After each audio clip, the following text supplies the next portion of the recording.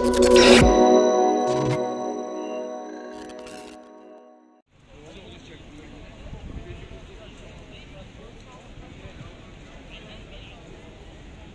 yapmışsınız, karşılıklı olmasın lütfen.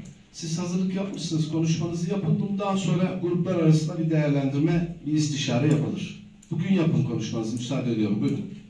Ben sizden defalarca söz istiyorum. Ver, vermemekte ısrar ediyorum. Hayır, mecliste Başkanım, üç defa söz verdim. Söz alamadığınızı düşünmek lütfen, lütfen. Konu anlatıyorsunuz, adımı zikrediyorsunuz. Aynı şekilde Nilgün Hanım'a da zikrettiğinizde Nilgün Hanım'a söz veriyorsunuz. Burada bana söz vermek istemiyorsunuz. Nezaketten bahsediyorsunuz. Aynı nezaketi göstermenizi tavsiye ederim.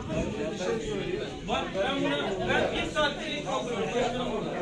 Lütfen.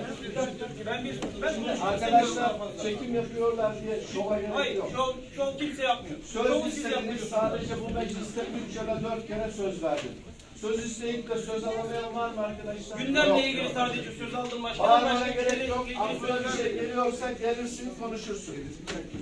Şahsımın adını kullandık. Benim bölgemde, e, Dernekkıra bölgesinde, Budaklar köyünde bir e, millet evi yaptığını ifade etti. Türker Bey'in bölgesinde dedi.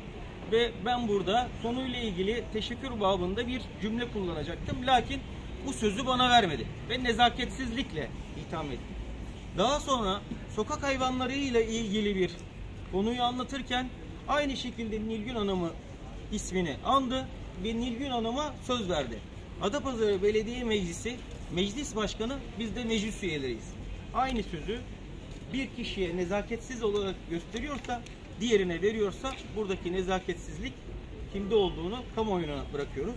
Açıklamamız bu kadardır arkadaşlar. Teşekkür ediyorum. Meclis üyesi arkadaşlarımın sözü varsa Bir konuya da e, şöyle ben imar komisyon üyesi olduğum için şimdi buradaki alanda 36 yıl önce kamulaştırma yapılmış. Burası yeşil alan olarak bırakılmış belediyemizce. Fakat burada e, belediye başkanımızın dediği gibi 36 kişi mağdur değil. 2-3 kişi mahkemeye vermişler, mahkemeyi kazanmışlar. 7,5 milyon gibi bir kamulaştırma bedeli ödenmesi lazım. Belediye sırf bundan kaçabilmek için, bu paradan kaçabilmek için 42.500 metrekare yeşil alanı yok ediyor. Yani Maltepe'de bu kadar zaten ağaçlık alan yok. Ve buraya neler planlanacağını bilmiyorum. Hani plan, plan olarak burasının imarı açıldıktan yani açıldı. Hayırlı olsun demiyorum. Çünkü biz belediye olarak yeşillik korumak istiyoruz. Yani yeşillik korunmasını istiyoruz fakat bunun karşılığında imarı açtığın kadar yeşil alana bir yeşil alan göstermek zorunda olur. Burada gösterdikleri yer stat, kapalı pazar yeri.